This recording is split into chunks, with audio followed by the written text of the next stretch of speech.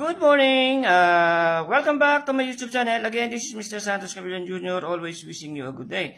Guys, today what I'm going to do is test this uh, cleaning robot and obstacle avoidance robot also. Uh, actually, this is one of the projects of my student in uh, College Engineering Department. Uh, they are uh, computer engineering student enrolled in embedded system. Okay.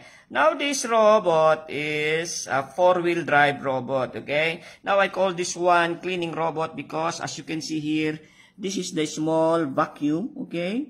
Then uh, I have one small fan there. Okay. That fan will try to suck the dust through this nozzle. Okay. Through this nozzle. So it will suck the dust underneath, okay? Then it will be stored in this small uh, compartment here, okay? Now actually this robot is driven by uh, around 9 volts. 9 volts power supply. Then I have a separate power uh, I have a separate power for my vacuum. Then I have also underneath there a separate power for my Arduino, okay? Now actually this one is uh, controlled by Arduino uh, microcontroller with this L293D uh, shield, okay? So this one on top, okay? Now, uh, how this robot will avoid the obstacle in front of it is through this, uh, this one is the ultrasonic sensor, okay? Now, actually, I'm planning to install one DC motor also and attach one rotating brush so that when it is running, the dust will be, uh, it's like a sweeping motion or it will try to agitate the dust, then the vacuum at the rear will suck it, okay? So this is my controller for this uh, underneath uh, DC motor or stepper motor, okay? Now, actually, the ultrasonic sensor is being controlled by one servo motor here, okay? So this is the setup. Now, actually, the program is being done by my student, Mr. Weldrick Barliso. He gave me the code how I'm going to uh, control this demo robot. Actually, uh, since there is a pandemic, so uh, the setup is I will build the demo robot, then they will be the one to give me the connections, in the Arduino and the shield and also the code. So one of my students, uh, Mr. Weldick Berliso, gave me the code and tried to upload it in my controller.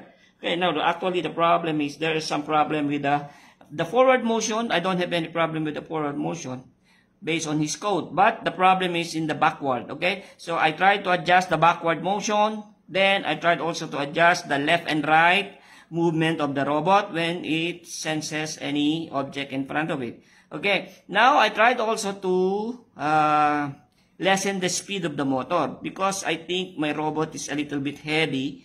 So I just try to run it slowly. And of course, it is a cleaning robot. It will run slowly also. Okay, so that is the adjustment that I have done here. Also, the turning left and right, I put some time delay. Okay, then the speed also, I try to change the speed when it is turning right and left. Okay, then adjust also the delay. Okay, now I think uh, this robot still needs some fine tuning. Okay, but anyway, I just want to show you how it will work. Okay, then I tried, I will try this robot to clean this surface. Okay, anyway, the surface is clean. Then I put some uh, obstacle so that we will see how this robot will try to maneuver, okay? So let me turn on the power for my Arduino, then the power also for my vacuum. As you can hear, the vacuum is already working. Now let's see how this robot will try to avoid the obstacle in front of it. Oh, okay, it senses that one. Then it will try to, okay? So as you can see, it's trying to maneuver, okay? Now, as you can as you can hear, the vacuum or the fan is already working. So it's doing its job. It's trying to suck if there are some dust in there. Okay, now, okay, as I know, as, as, I, as I have seen, the robot is working fine. It's trying to avoid the obstacle in front of it. Okay, okay, okay, anyway. uh, I think there's some need to adjust the uh, the ultrasonic sensor. Okay, guys, if you have any question or if you want to know the circuit building of this, you can always uh, put a comment in my uh, video. Then I can also share you the uh, the code. Okay, actually there are so many tutorials that are doing this kind of project. Okay, so let me just okay. So if you put an object there. So as I said, the robot needs some fine tuning. Okay, Of- actually the installation of the ultrasonic sensor, you need to install it properly. Okay. So anyway, uh, the robot is working fine. As I said, it just needs some small modification or fine tuning of the controls. Okay. Anyway, guys, this is the um, pre-finals uh, project of my student in embedded system. Okay. So as I said, there will be lots of improvement that can be done from the robot. Okay. So maybe you have to give some time delay, change the speed. Okay. So guys, uh, again, thank you very much for watching. Uh, if you are new to my channel, please don't forget to subscribe. And you can also like and share the video.